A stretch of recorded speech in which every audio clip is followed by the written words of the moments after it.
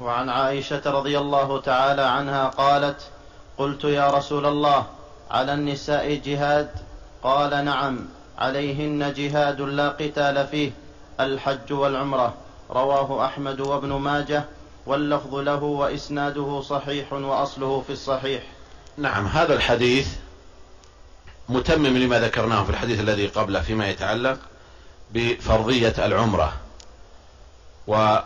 واستدل به من قال بأن العمرة واجبة على كل مكلف في العمر مرة واحدة لأن عائشة قرنته بالجهاد قرنته بالجهاد وهو واجب. والنبي صلى الله عليه وسلم نفى أن يكون عليهن كنساء هذا القتال الذي يكون بين صفوف المسلمين والمشركين. وإنما قال لهن لهن الحج والعمرة بمعنى أنه هو الذي يجب عليهن وهو في حكم الجهاد لاشتراك المشقة وضرب والضرب في الأرض بين الحج وبين الجهاد في سبيل الله. فالجهاد في سبيل الله فيه مشقة وفيه ضرب في الأرض وكذلك وكذلك الحج. فيه ضرب في الأرض وفيه وفيه مشقة. فاشتبه من هذا الوجه فجعل هذا هذا الاشتباه منحصرا بالنسبة للنساء في الحج والعمرة بخلاف بخلاف الرجال. أما بالنسبة لقول الحافظ رحمه الله هنا وأصله في الصحيح أي أصل حديث عائشة هذا في الصحيح.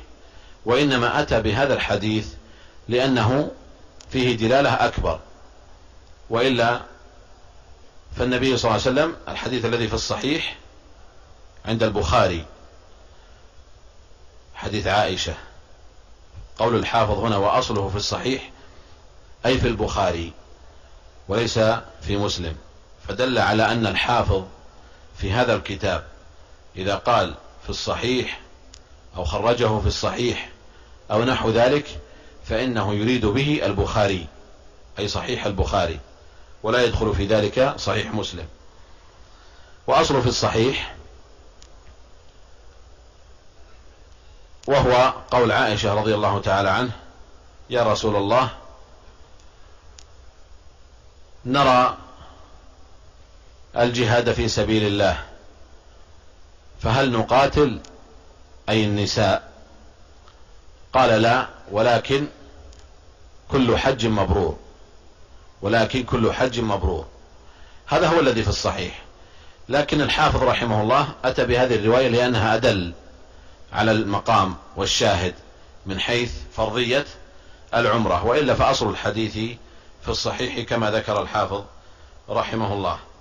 ويؤخذ من هذا آه، الحديث أنه أن الجهاد أيضا لا يجب على النساء وإنما يجب على الرجال.